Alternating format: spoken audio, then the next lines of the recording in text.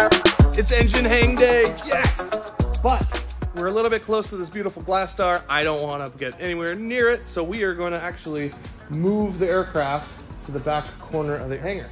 And it's family engine hang day. Thank you, Ani, for your help in advance.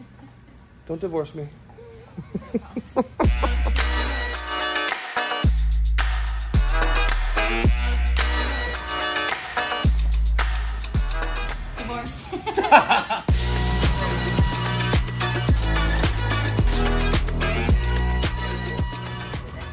290 pounds.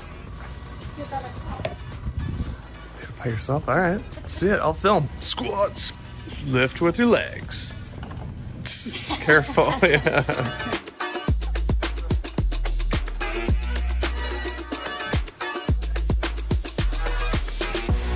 well, it looks like this. can slide back. Oh yeah. So we can fix it to the to the one ton setting. You're so smart. It's not rocket science. Yeah, but I'm dumb, so. okay, cl- clearly these are gonna need to come out. It's just three bolts. They're just kind of a pain to put in with these Adel clamps. But one, two, three, because I'm gonna need obviously access to the engine mount bolt right there.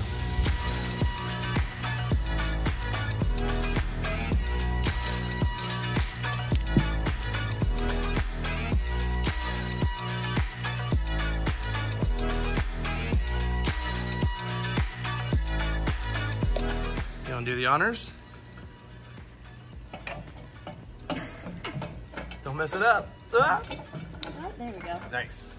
We'll we'll just uh, relieve some of the weight, then I'll start taking out the bolts.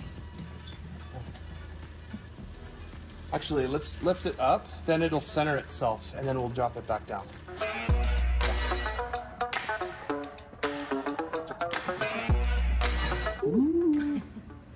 Okay, so we'll need to probably jack um, support it with some two by fours because it's it's wanting to lean a little bit.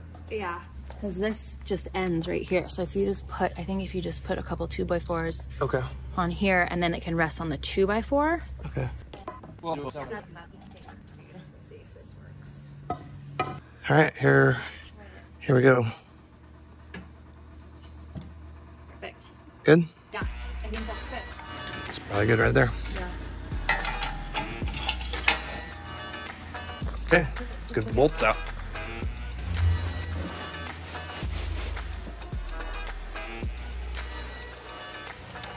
The bolts on the back side are 5 eighths.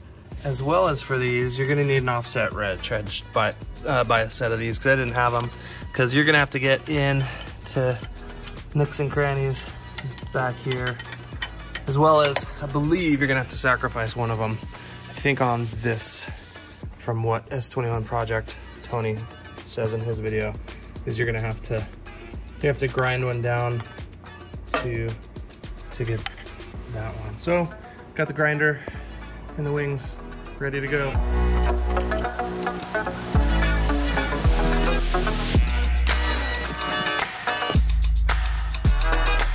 Whisper. No. Whisper. Whisper. Good. Good boy. All right, she's free. She flies. What you're hearing falling off are the little rubber engine mounts in the aft.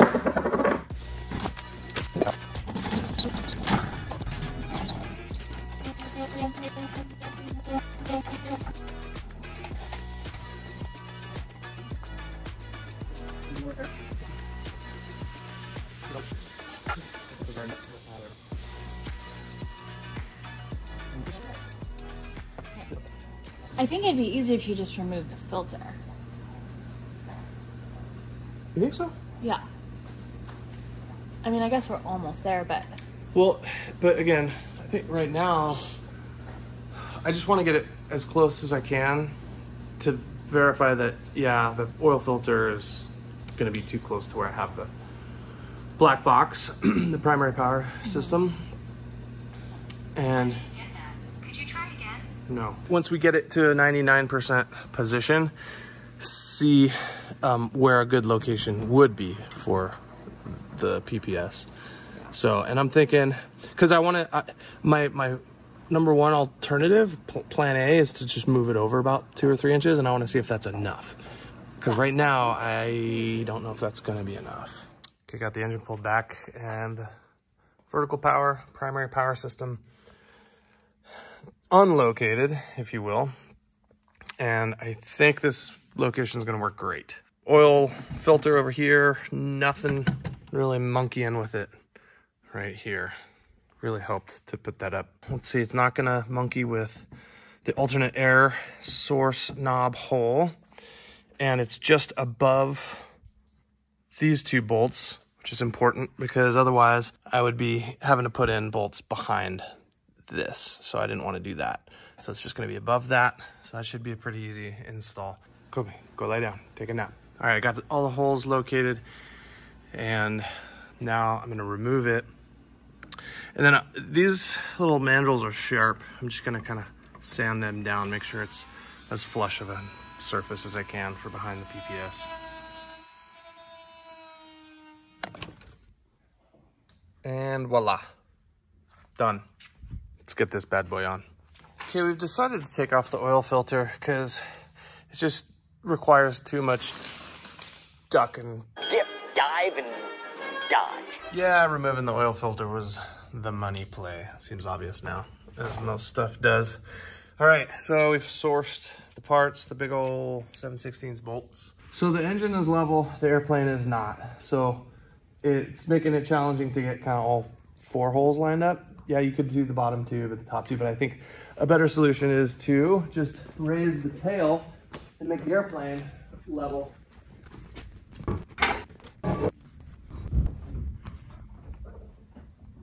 Okay, it's more level to the engine. You're trying to bring it down.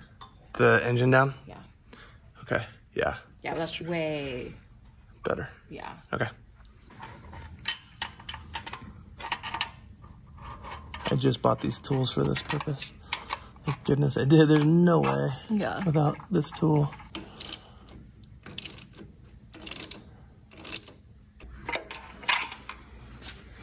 So let's work on the other bottom. Not like one, it should be a lot easier to kind of manipulate. Like I'm gonna have to lower it a little bit, all right? Check Ani out. Hell yeah. Even sporting the new Cleared Direct beanie. What's up? Wrenching. Love it. Yeah, it it mm, it's gonna need to get ground for sure, ground down. Um, but but we got it for ninety percent of the way. So yeah, you just kind of gotta put it in like that, and then it'll get in there. So that really limits the amount of grinding I'll have to do. I think just really on the top edge, just to make sure it sits in there real nice when I put a torque wrench to it. But yeah, I'm I'm able to reef on this pretty good. I don't want to strip it with recent Trauma. recent trauma. Cool. That's probably that's good enough for for now. All right, I'm headed out on a trip for two days, and uh, I will come back, grind this thing, and we will torque these um, down. I'm gonna put a few more spins on the bottom. That way, I'll feel comfortable with it sitting there for a couple days. We'll remove the engine lift and call this a resounding success. High five. It's Steve at Cleared Direct. Bye bye. Oh.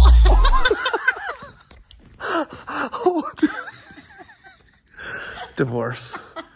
Imminent. What? Abuse. Oh, Jesus. Ow. I'm sorry. All right. Kind of moment of truth here. All right, airplane. Oh, there we go. Gear struts. They're holding. Oh, snap, crackle, pop. Doesn't look too bad, huh, Kobe? You trust it. I don't know if I would go under there right now. Come. Make it look bad. Come. Oh.